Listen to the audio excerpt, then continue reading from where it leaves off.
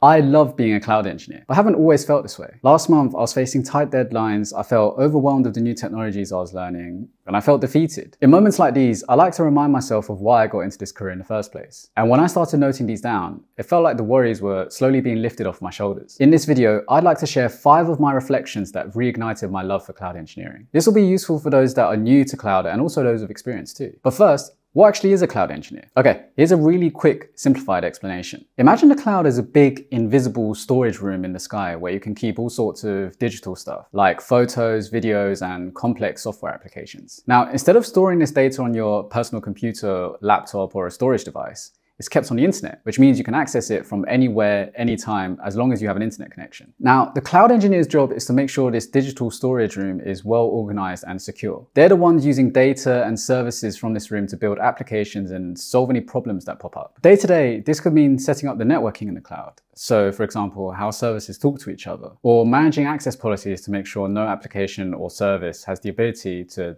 do stuff that it shouldn't, or even writing code to automate workflows. Usually, a cloud engineer specializes in one of the major cloud providers, Amazon, Google, or Microsoft. These are basically just big companies that offer up space in their storage room for your data. Personally, my specialty is working with Amazon Web Services, and this leads me to the most significant thing I love about my job. So the other day, I was talking to my friend who's a software engineer at a startup. She was telling me how she loves her job, but sometimes feels like she only gets to work on a small piece of the application. And this got me thinking. A lot of people think that cloud engineering is very specialized, but I would disagree. As a cloud engineer, you're not boxed into one little corner. You get to sort of play around in all these different areas. So for example, one day you might be doing some network engineering, the next day you're switching it up and optimizing some code or implementing a new feature. I remember this one project where we redesigned an application using a serverless architecture. Now, I went into it not knowing much about serverless at all. Not only did I learn a ton about serverless itself, but it was great to see the impact it had on the business when we didn't have to worry about managing how the app scales. But you know, it's more than just the technologies themselves. By working across so many different domains, I've developed this amazingly well-rounded perspective. I feel like I can jump into lots of different projects or discussions and really add value because I understand how all the pieces fit together. That's the funny thing. I understand why people think that cloud engineering is very specialized. And sure, there's a lot of depth that you need to know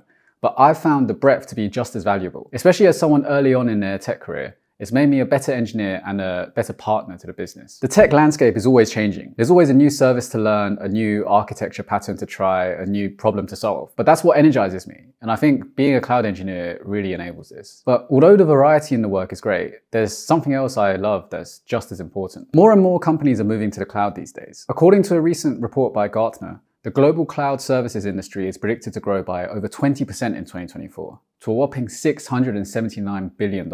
And with so many companies making the switch, they need cloud engineers to make it happen. But okay, why is it good to be in a career with high demand? Naturally, the first thing that comes to mind for most people is the money. Lots of different companies are hiring cloud talent right now from small startups to huge enterprises. When demand outstrips supply in the job market, these employers are usually willing to pay above average salaries to attract the right people. According to Glassdoor, the average salary for a cloud engineer in the US is around $146,000. Now, although I don't think money is the main reason you should get into this role, it's undeniably something you should consider when picking a career. But more importantly, I think being in a high demand role has given me job satisfaction. There's always work to be done and lots of different opportunities within the field. This kind of links back to what I was talking about earlier, where cloud engineers have the freedom to work in areas that they're interested in. And this freedom has made me feel more energized and satisfied about the work that I'm doing. But it's not just how I feel about the work. It's important that I can see the business impact of my work. In 2016, Spotify decided to migrate its infrastructure to Google Cloud. They had previously been running everything on premises and it was really becoming a real headache. Scaling was tough and they were running out of engineers to maintain everything. But the main issue was that the work they were doing on their data centers wasn't really contributing to the business. If I'm really honest, what we really want to do at Spotify is to be the best music service in the world. None of that work on data centers actually contributes directly to that. Ramon van Alteren, Spotify's director of engineering. Now, yes, after the migration was complete, Spotify saw all of the typical cloud benefits. For example, improved scalability, improved reliability, and lower infrastructure costs. But more importantly, Spotify noticed that their engineers' time was freed up to tackle more important issues, issues that had a bigger impact on the business. And this is one of the things I love most about being a cloud engineer. We get to have this direct, visible impact on the businesses we work with. With engineering work in general, it's easy to get lost in the technical details. Like, sure, I love diving deep into containers and serverless and all that good stuff, but At the end of the day, it's really about how we can use those technologies to solve real problems. A really simple example. A few months ago, I created a script to automate the cleanup of unused resources across a few AWS accounts. When the script was deployed, I was able to see instant results, i.e. costs going down day by day. And this is the kind of stuff I love because it feels very rewarding. You can see the impact of your work straight away. But the next point is probably what I love most about being a cloud engineer.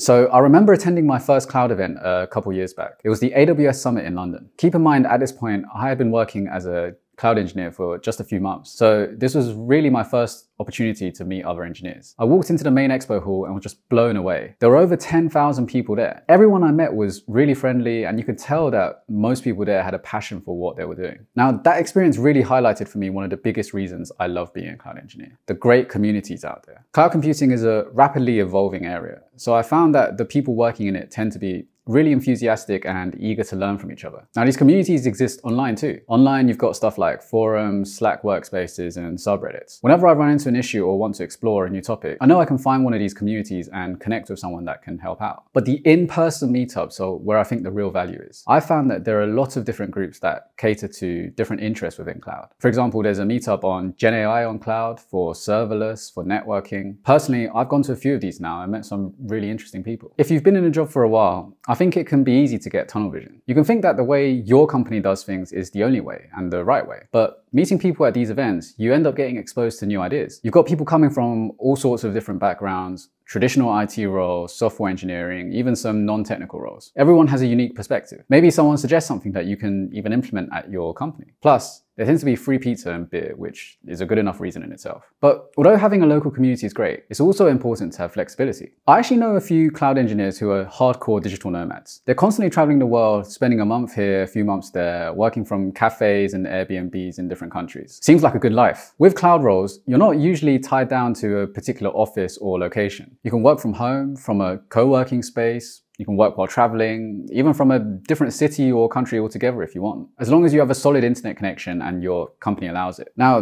dislocation independence isn't necessarily unique to cloud engineering. It can apply to IT jobs more broadly, especially these days with remote work becoming more common. But I'd say cloud roles tend to have an even higher degree of geographic flexibility since everything you're working with is already offsite by definition. No one cares if you're not on-site because all of the hardware and all the infrastructure is off-site too. For me personally, not having to commute every single day is a great help. It saved a lot of time. Time that I can spend focusing on my actual work or on my interests outside of work. And it means that when I was looking for apartments, I could look slightly outside of central London where prices tend to be the most expensive. In a role where the work itself can be quite demanding a lot of the times, with long hours and intense mental energy. This flexibility really makes a huge difference. Now, I've said a lot of positive things about cloud engineering in this video, but there are a few crucial things that I wish I knew before becoming a cloud engineer. If I had known all of these things, I'll be much further in my career and would have avoided a lot of mistakes. And you can learn what these things are in this video.